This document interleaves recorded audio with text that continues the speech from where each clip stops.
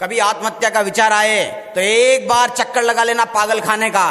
ICU में लगा देना हॉस्पिटल के अंदर कि एक मरीज़ को बचाने के लिए, एक व्यक्ति को बचाने के लिए उसके परिजन कितनी मेहनत करते हैं, एक डॉक्टर कितना मेहनत करता है। आप कल्पना कर सकते हो, लाखों करोड़ रुपए खर्च कर देते हैं जान बचाने के लिए। इसलिए दोस्तों, ज़िंदगी से बड़ी कोई चीज़ नहीं होती। अगर आप समझते हो कि मेरी आत्महत्या करने से मेरे दुश्मन दुश्मन दुश्मनों को पछतावा होगा, मेरी गर्लफ्रेंड पछतावा करेगी, भूल जाइए। कोई पछतावा नहीं करता सिवाय आप, आपके माँ बाप के। आपको इतनी सफलता हासिल करनी है मेहनत करके कि वो कहे आपकी गर्लफ्रेंड कहे कि मैंने ऐसा हीरा खो दिया जो वाकई में काबिल था। उसे ज़िंदगी भर मलाल रहेगा। इसलिए ऐसे डिसीज़न भूल कर भी नहीं लेना। दरअसल आज क्या कर रहे हैं हम?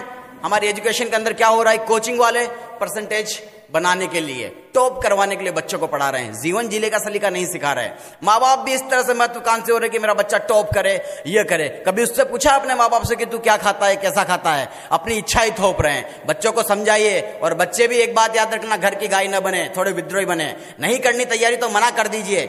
अगर आपके अंदर कम्युनिकेशन गैप है माँ बाप से नहीं कह पाते हो, आप माँ बाप से कहिए आपके साथ समस्या है तो। आपके माँ बाप समझेंगे आपकी समस्या। आप कहते क्यों नहीं हो?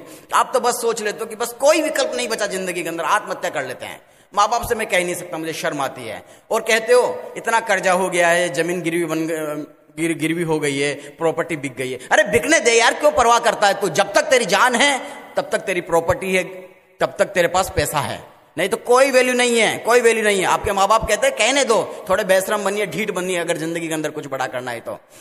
महत्वाकांक्षा कभी पूरी नहीं होती, चाहे आपके माँ बाप हो, चाहे कभी किसी को। दसवीं के बाद बारहवीं में ये कर ले, फिर आई आई फिर नीट, फिर आई बन जा आई बन जा। महत्वाकांक्षा कभी पूरी नहीं होती। एक बात याद रखना, राहुल द्रविड़ एसएसबी का इंटरव्यू देने जाते हैं, फेल हो जाते हैं सीडीएस के अंदर।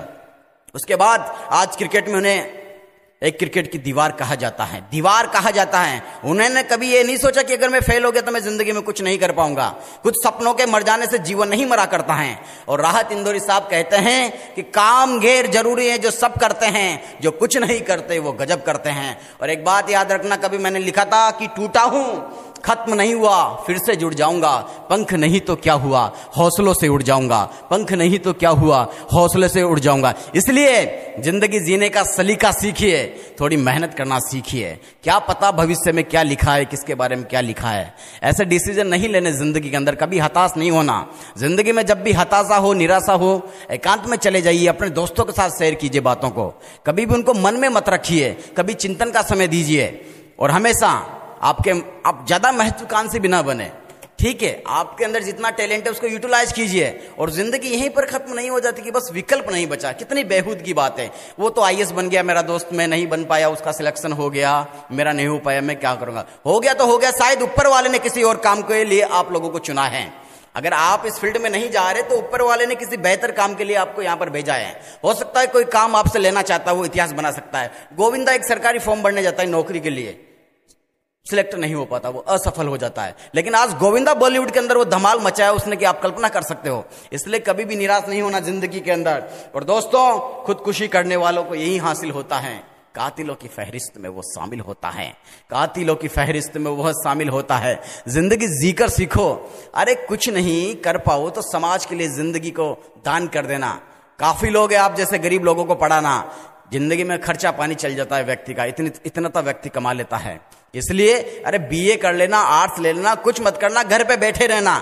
नशा तो नहीं कर रहे आप ड्रग्स तो नहीं ले रहे। आप गलत काम तो नहीं कर दिया आपने आपने किसी का रैप तो नहीं कर दिया, किसी की हत्या तो नहीं कर दी। फिर आत्महत्या किस लिए करनी? किस बात का मलाल आपको?